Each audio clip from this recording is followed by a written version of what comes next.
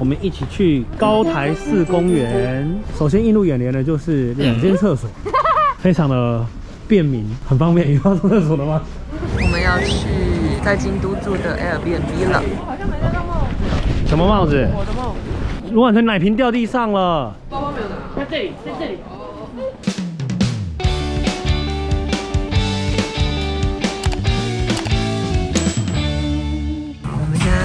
从大阪去京都，这个车位很尴尬。来看我的膝盖，如果是陌生人的话，这样是不是很尴尬？这位置这样对坐在干嘛？其实真的是很漂亮，这不像车站，你不觉得吗？它有很多的层次，有很多的通道、空中走廊，所以就创造了很多的平台跟观景台。就是京都车站其实是一个很综合性的感觉，它有户外，有半户外，然后还有百货商场，还有很多的商店。我觉得这是蛮厉害的建筑设计。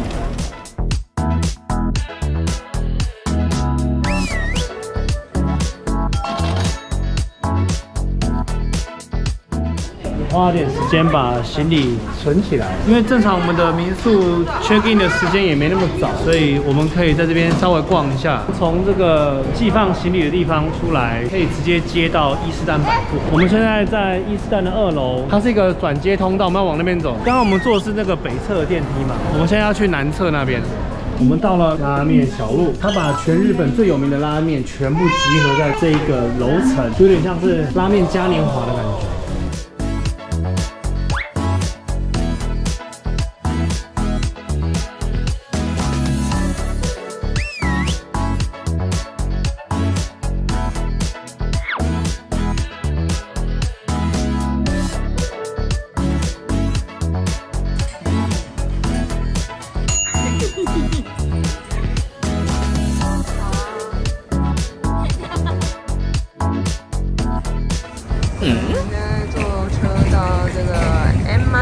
我们要去在京都住的 Airbnb 了。他们在交头接耳的讲密码。这次的房子看起来很棒哦。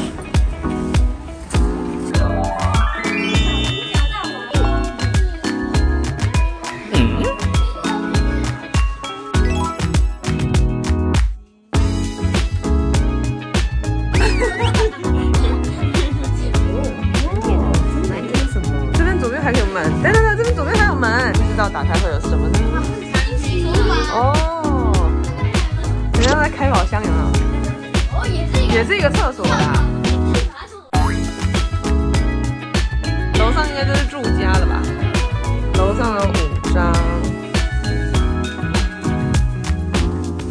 我们每次一到 Airbnb 就先改一下里面的布置，看怎么样的动线会比较好，然后留出空间来。我们现在把小孩赶到那边去，这样晚上睡觉的时候我们就有一个地方可以聊天。室友都爱聊天呢。我觉得把这个床移到客厅里面去更好，而且这样的好处是我们从这里下来，我们可以直接从这边进去上厕所，就完全不会吵到阿妈，是不是比住饭店还要舒服呢？阿水，你不是阿妈，请你走开。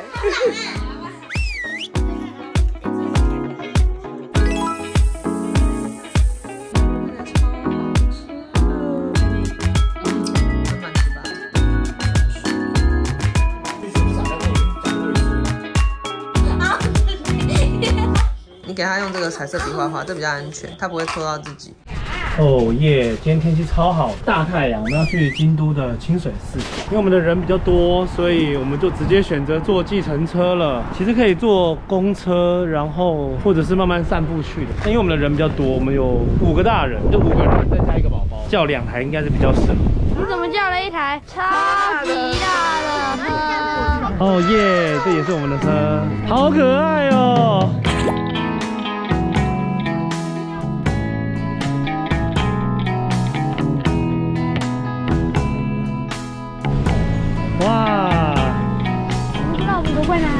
多贵？两千七。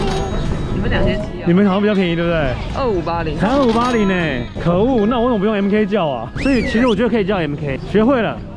我们现在来到金阁寺，不是金阁寺了，清水寺，正准备从那边走上来，漂亮。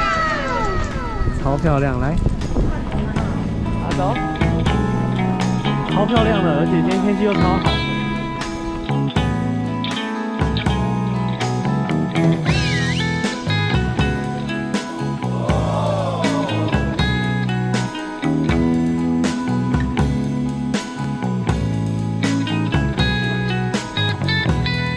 要走到了清水寺了，哇，我们真的到了。我好像没来过京都。清水寺啊，清水寺。好多人穿和服哦，好应景哦，身体好硬朗哦。我们等下要往上面走，一定要往上面走的。是要爬山吗？对，那我要想要不要走旁边那个？你看旁边有个小。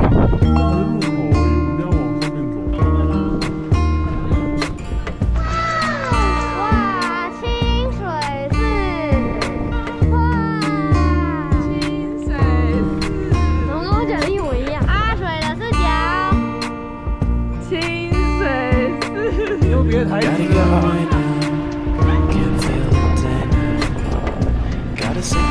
你还记得这边是哪里吗？这个位置。这个位置就是我跟你跟方娜，我们抱在那边一直拍照，是吧？哎，我们有，我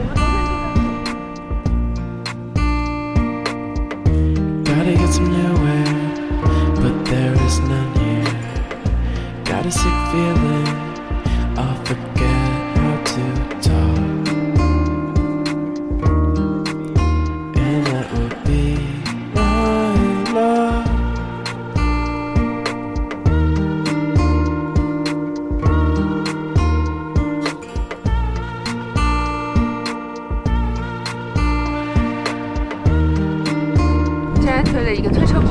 也可以从旁边走上来啦，只是没有走那个主线道，有点可惜。对，还是要走主步道嘛，才会看到这里虽然也是蛮漂亮的，很就很日本的感觉，可是就就没有那个红红的寺庙。哎、但这里就这样啊就这样啊。啊什么？就这样。清水寺就这样啊。好，我跟你讲啊，它我们现在要去什么二年坂，就是另外一条坟的步道，那个步道可以通往高台寺。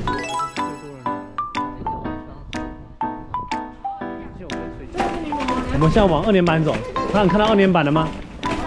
好啊，我们去吃午餐。二年坂一路走下来，又是一条热闹的街道。这居然是一家 Starbucks，古色古香的 Starbucks。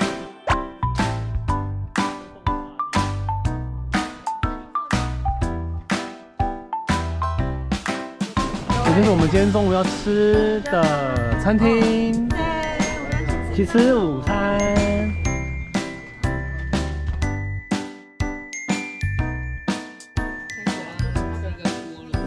豆腐很香。这是我的生豆皮苏西，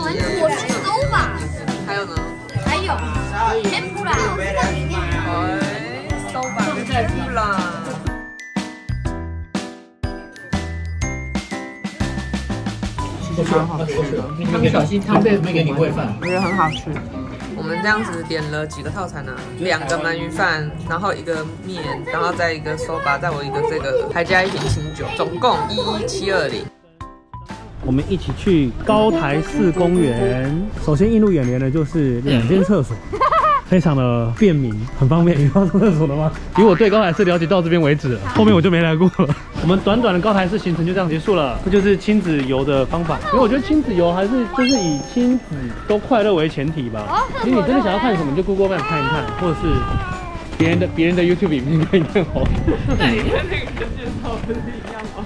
这边也跟那个奈良一样，有那个人力车服务，然后就是在这附近清水寺、高台寺，我们来法式咖啡高台式。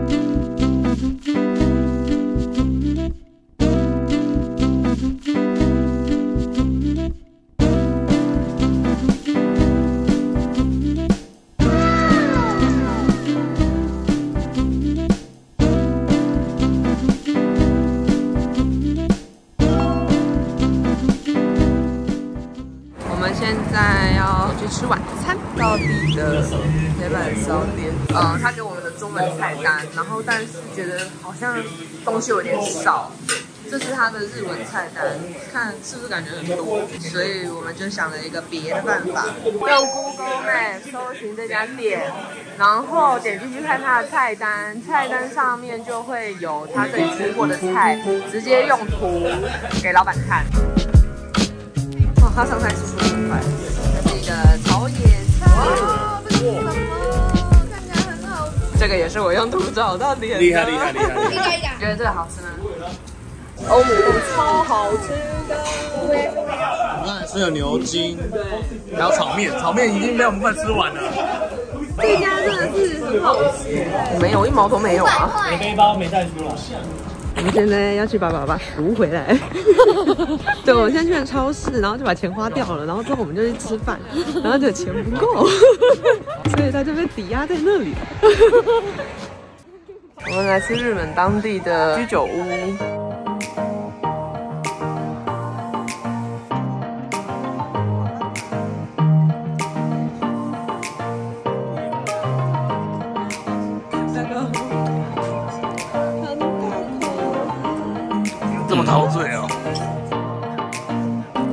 招牌的小火锅，有没有什么料呢？我们来看看。吃了生鱼片的河豚，觉得还好，来吃吃看烤的河豚怎么样？河豚胖胖的，嗯我觉得烤的很好吃。那个以后如果有整支影片看完会发现，我们一直都在吃，整个狂吃不停。其实福老西柚亲子游走的就是一种很 chill 的路线。今天我们就来跟大家分享一下亲子游如何规划吃住行。首先来说住好了，住的话呢，我们就一直很推荐就是 Airbnb。我们家很常就是住 Airbnb，为什么呢？因为我们家人数众多，原本两大三小就是比较难住饭店，然后再加上了妈妈的话呢，三大三小整个就是年龄跨很大。如果是住饭店，那就是会变成要分成可能三间房。其实大家都有住过饭店的经验，如果是住分三间房的话呢，就是会回家就大家就各自没有交集，你知道吗？就只是回饭店睡觉。那住 Airbnb 的话呢，大家就是可以住在一起，我们就会有一个客厅的空间或者是餐厅的空间，然后我们就可以大家一起在那边聊天，可以聊说明天要几点起床啊，然后或者是今天有什么好玩的、啊，然后大家觉得有什么很开心的、啊，就是有一个可以聊行程的地方，聊今天的行程，聊明天的规划之类的。然后房间很多，大家都有自己的空间，就是很像住在自己的家里。其实我们就像出去玩，换一个地方住而已。我觉得我们自己在挑 Airbnb 的，其实是蛮专业的，蛮多人会觉得我们挑的 Airbnb 很好。我是说真的，我也觉得蛮好的。就是很多人会跟我分享说，他们住过很多很恐怖的 Airbnb，但我觉得其实真的是挑选的问题，就是你会不会看评论啊，你会不会跟房东沟通啊，然后或者是什么之类的。就是这次在京都住的 Airbnb，其实是本地人住的地方。我觉得 Airbnb 其实你就是住在一个本地人的房子，譬如说你去日本，你就是住在一个日本人房子；你去欧洲，你就是住在一个欧洲人的家里，然后就会觉得很特别，因为那种感觉跟你住饭店完全是不一样的感觉。然后附近我们都会找说，哦，有便利商店啊，然后他就会卖很多的你生活所需的用品。像我们的话，日本很方便嘛，日本就可以你自己买一些和牛。哦天哪，日本超市和牛超便宜，你就可以自己买一些和牛啊，很便宜，然后又好吃，然后你就可以自己弄一些简单的早餐，真的是非常的方便。如果想要吃的道地一点的话，我就会推荐去吃本地的美食店，不是网红推荐的美食店呢。因为其实说真的，我自己身为一个布洛克那么久，我真的是觉得说，如果你不是长期住在那的话，很多推荐其实都是没有意义，因为你也只是去吃，然后你就觉得去吃到就觉得哦好好吃，但你没有比较啊，你知道吗？你知道最好的比较是什么吗？最好的比较其实就是你直接打开 Google 评论去看它的评论是什么，因为那是世界各地给他的评论，或者是他周边住宅的人给他的评论。在我近几年的旅游，觉得这个评论是蛮准的。那你用 Google Maps 要怎么去挑选餐厅呢？就是你打开它的评论之后，你可以先点开它的最低评价。大部分的最低评价呢，都是觉得说啊、服务态度不好啊。如果跟你要吃的东西没有关系，这个东西其实还好，因为那是个人主观的感受。那你可以去看说他们的好的评价，你从评价里面你就可以看到说这间餐厅到底是好还不好。根据我这几年这几次的看 Google 评价选的餐厅，都真的是蛮不错的。所以我现在在做的一件事情也是，就是我会把我喜欢吃的餐厅，吃完了餐厅的评价，我也会把它写上去。啊，我连我们家附近的餐厅我都写上，因为我觉得这件事情对很多人来说其实蛮有意义的，就是 Google 评价其实是很有意义，所以我觉得大家可以参考 Google 评价。但是因为如果像是本地的小店，那这种地方其实就不会有观光客，所以它也不会有一些观光光客评价。然后重点是，如果不会有观光客评价的话，它就不会有一些英文啊或者什么。你知道，因为譬如说像我们住的地方不是观光区，不是观光区的英文就不会那么好，所以你也很难跟他们用英文沟通。我说的是日本哦，现在就是在日本没办法沟通的情况之下是怎么样呢？我们就是直接点图，就找你觉得看起来很好吃的图，你跟他讲说 c o l e c o l e c o l e 反正就这样，你就是跟他讲说我要点这个，我要点这个，我要点这个，我要点这个。那说真的，如果难吃的话又会怎样呢？也不会怎样啊，因为旅行不就是这样吗？但我是说真的，我觉得我们点的都蛮好吃的，所以就是我们不会特别去找一些说哦，很多台湾播客写说什么必吃啊，或者什么之类。我们的旅游就是尝鲜，我们住的地方也是就是日本人或者什么之类当地人、欧洲人居住的地方。然后我看的 Google 评论呢，也是比较多是当地人的评论，那我就会想要去试试试看。那吃的好吃，我就觉得好吃；那如果不好吃，我那就不符合我的口味，不会觉得怎么样。关于在吃这个部分，旅游就是大家各自有各自的想法。日常出行的话，我比较推荐是租车，就是假设你们要出去玩的话，你就先定好时间，然后租车。像我们这次到大阪才想要租车的时候，可是时间已经有点来不及，我们就只能够订比较晚的。那如果是轿车的话，建议的话就是用 MK，就是日本有一个蛮大的轿车系统。那同样的路程的话，MK 的车子是会更大台，然后或者是比较便宜。OK，那京都亲子游就先到这边，有什么问题可以留言给我们。喜欢我们的影片的话，欢迎按赞订阅，下次见喽。